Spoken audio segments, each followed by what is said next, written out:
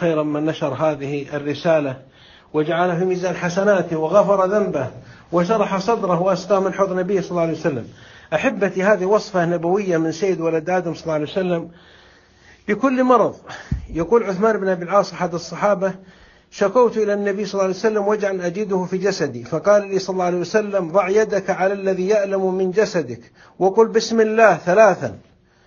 وقل سبع مرات أعوذ بعزة الله وقدرته من شر ما أجد وأحاذر قال ففعلت فأذهب الله ما كان بي. أحبتي. قال لي بعض الأطباء هذه الوصفة عرضت لبعض المرضى وتشافوا بإذن الله. بعض المشايخ والرقاه والدعاة والعلماء كلمونا قال والله جربناها في أنفسنا وفي أهلنا.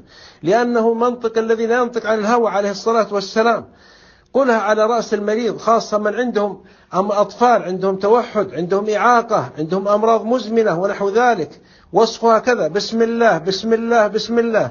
أعوذ بعزة الله وقدرته من شر ما أجد وحاذر سبع مرات. تقبل الله منا ومنكم. انشروها لا تقف الرسالة. مررها لتكون في ميزان حسناتك.